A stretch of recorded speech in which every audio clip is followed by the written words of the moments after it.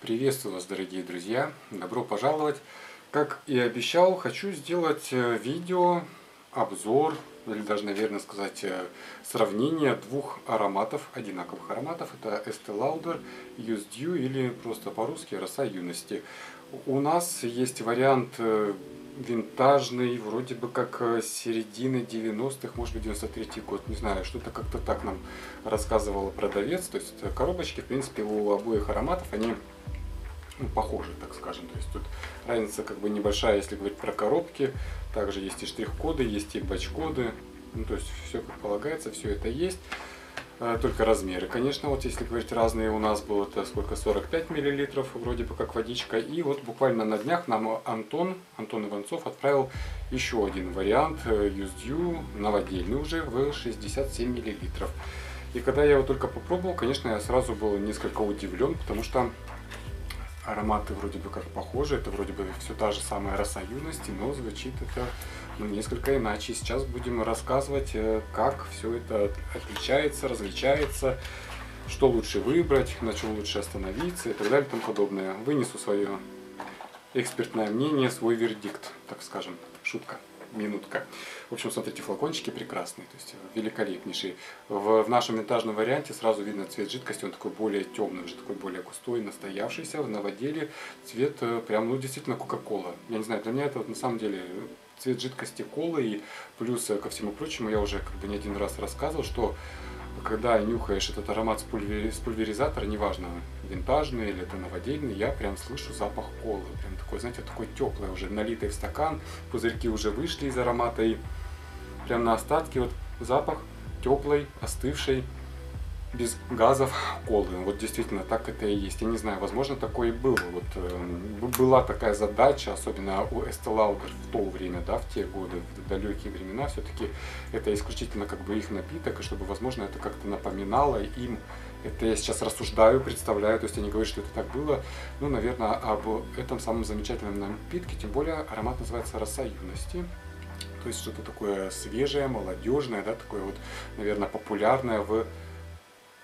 50-е вроде бы годы, да, был выпущен, выпущен аромат. Я вот вечно путаю как бы вот э, время создания аромата. Ну, то есть я так предполагаю, потому что если по нашим нынешним меркам назвать вот этот аромат роса юности, ну, у меня бы лично язык не повернулся, потому что он очень уж густой и очень уж тяжелый да, для вот росы юности, потому что ну, это в моем понимании должно быть что-то прям более такое вот легкое, акватическое, может быть даже вот э, из японского репертуара, ну что-нибудь даже из разряда, разряда Ле. Я думаю, многие из вас знают этот аромат. Поэтому здесь, в моем понимании, до росы юности, тем более этот аромат не дотягивает, ну да ладно, то есть как они захотели, так э, оно и называется. В общем, винтаж, винтаж и новодел. А, винтаж, он очень густой, он очень яркий, в нем есть много животных, анималистичных нот и заметный нарцисс. То есть нарцисс у него очень яркий, очень такой, знаете, весенний, густой, прям, ну, со всеми вот этими вот вытекающими последствиями, которые многие не любят в ароматах, то есть вот эту вот именно агрессию вот именно животность, и все это в нем есть, и нарцисс точно такой же. То есть, ну, я думаю, многие из вас знают, как пахнет природный нарцисс, есть у него такой вот легкий душок, не буду говорить, э, какого он плана, я думаю, вы и сами это прекрасно понимаете, и когда я получил вот э, новодел, вот этот вот потрясающий, красивейший, я его только распылил на кожу, распылил на блотер, на карину, и еще только вот осталось кошек, наверное, побрызгать для полного счастья, Нарцисса нет, нет грязи, нет вот этих вот животных нот, абсолютно нет. То есть аромат э, целиком и полностью лишен всего этого. Не знаю, плюс ли это или минус, ну, наверное, для многих людей все-таки, я думаю, плюс. Особенно для тех, кто не мог носить э, винтажный вариант э, расы юности, или даже вот в те годы, да, когда он был популярен, или может быть он только появился, там, скажем, в нашей стране, многие, может быть, его и не могли носить, и не любили за вот эту вот излишнюю животную такую вот, э, ну, грязноватость, да, такую вот не знаю, как это правильно так э, культурно назвать, чтобы не отпугнуть вообще, в принципе, людей от винтажа. Потому что лично мне вот этот вот душочек, вот этот нарциссово такой вот животный дух этого аромата, он наоборот очень нравится на фоне вот именно пряных э, коричнево-гвоздичных нот, э, дымных нот, то есть здесь и присутствие ладана, есть и угля, вот именно и ладана на углях, то есть все это есть в этом аромате, как есть и в этом аромате, то есть в этом отношении они абсолютно одинаковые, все это есть, есть и пряные ноты, и коричневые ноты, и вот уголек и ладан, все это есть. Нет нарцисса. Вот это самое главное, что я заметил, в нем нет нарцисса. Даже вот сравнивая с версией Amber Nude, наверное, надо было тоже взять его в видео. Ну, вот Nude, вот такая маленькая малышечка, у меня уже кончается, я, я плачу вообще, я плачу, что у меня этот аромат заканчивается и нет возможности приобрести в большом флаконе. Это вроде бы 2003 год выпуска аромат, и здесь есть вот этот самый нарцисс, вот это вот уже животное, грязноватая такая вот ноточка, приятная, интересная, вот красивая. Но я думаю, многие из вас понимают, что я имею в виду под словом нарцисс, под словом грязь. То есть я не говорю это прям что-то такое страшное, там какое-то вот такое. Нет, то есть ни в коем случае это очень аккуратная, такое деликатное, даже вот не побоюсь этого слова, наверное, сексуальная такая вот, знаете, вот грязноватость. И она есть в амбернют и есть в винтажном варианте. В, в новоделии, насколько я вот заметил, ее убрали вот эту вот э, ноточку такую вот. И я вот сколько вот уже не один раз рассказываю про расу юности, знаю, что эти ароматы между собой сравнивают как и опиум, и э, киноварь, синабарь, синабара того же Estee да. Я всегда говорю, что это ароматы абсолютно разные. То есть вот э, я никогда не сравнивал расу юности с вот этими двумя ароматами. Опиум и киноварь между собой для меня похожи. Раса юности, она стояла для меня вообще вот всегда отдельно до сегодняшнего, как говорится, дня, до сегодняшнего момента, пока я не получил вот расу юности от Антона вот в таком вот флаконе на 67 мл. Вот этот товарищ, он, да, вот он уже в направлении опиума, с э, киновария от Estee но со своими какими-то вот особенностями, со своими нюансами. То есть вот э, сейчас в новоделе он даже больше мне похож на опиум, чем если говорить про винтаж. То есть вот здесь вот он выделялся на фоне вот этих вот всех ароматов, которые я называю, именно вот этой своей такой вот нарциссовой ноткой, вот такой вот весенней грязноватой. Сюда же я даже могу отнести, знаете, вот буквально недавно на трансляции даже вот мы вспоминали про, про шпалы, по, по, про криозот. Вот криозотистая такая, даже вот нота в нем есть. То есть вот, вот эта самая вот э, смазка жижа, которая, да, вот эти вот пропитывает шпалы, вот есть нечто похожее в нем.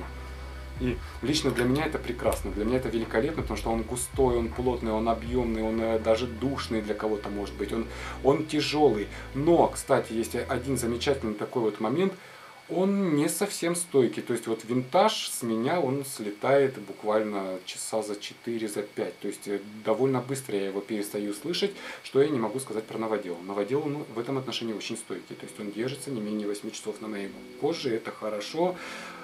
И это красиво. В общем, если вот говорить вот так вот, э, если вы не любили расу юности, не любили в те годы, или у вас был винтаж, и вы в нем как-то разочаровались, там, я не знаю, покупали вслепую, я советую брать именно новодел, то есть он лишен вот именно вот этой грязноватости, вот этой вот грязности, вот этой животности, нарциссовости, мускусности и всех вот этих вот э, для многих людей нелюбимых вещей. То есть в нем этого абсолютно нет. Он чистый, он рафинированный, он, он элегантный даже, вот, э, можно так сказать по-своему. И действительно он ближе вот э, к названию первоисточника расы юности. То есть он такой аромат, который вот ну, почти, наверное, даже можно сказать, что подойдет или ну, для молодых, так скажем, да, для, вот, для юности. Хотя, ну, опять же таки, это все очень э, сугубо лично, кто-то может и наоборот, в свои, там, скажем так, 18-20 лет используют исключительно винтажные ароматы и никаких вот этих вот акватических свежачков, а кто-то, может быть, и наоборот. В общем,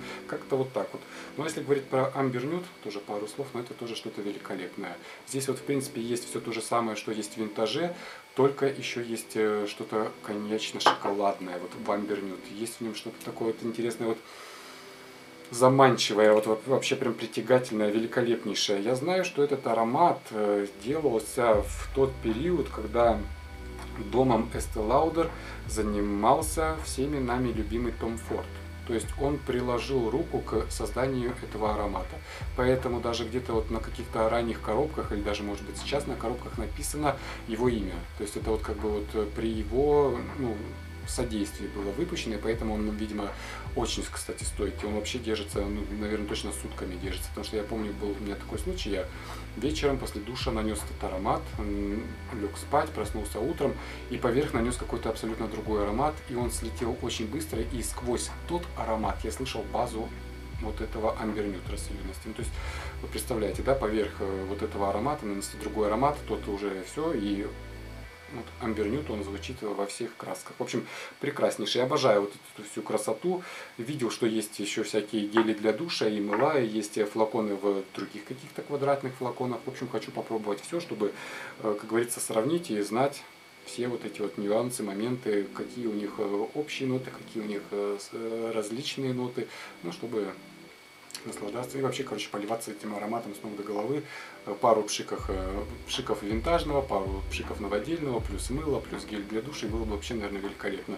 В общем, пишите, ребят, рассказывайте свое мнение по поводу этого аромата, любите, не любите, какой предпочитаете, например, вы, винтаж или же новодел, например. Но я думаю, все-таки в наше время сейчас лучше советовать я бы, наверное, советовал бы именно новодел, потому что он, он мягче, он в некоторой степени даже прозрачнее, что ли, акварельнее, если можно так выразиться, насколько это возможно для подобного вообще, в принципе, направления ароматов, потому что это, ну, сами понимаете, это теплые, горячие, такие вот разгоряченные специи, гвоздики, корицы, да, это э, смолы, ладаны, бензоины, лабданумы, ну и плюс, конечно, цветочный какой-то профиль в нем, безусловно, есть, но цветы это все-таки как-то, знаете, очень размыто в этих ароматах. Что не скажешь, конечно, опять же таки про винтаж. Здесь я слышу очень яркий, очень сочный, вот именно такой вот весенний, душистый нарцисс с криозотово, вот именно шпальным каким-то вот таким вот акцентом. Как-то так, в общем. Пишите, ребята, пишите, жду вас в комментариях. Всем спасибо за просмотр. Антону огромное спасибо за флакончик новодельного варианта расы юности. Мы счастливы, мы правда очень счастливы. Спасибо, Антон, спасибо. В общем, ребят, всем спасибо за просмотр. Жду вас в комментариях. До скорых встреч. Пока.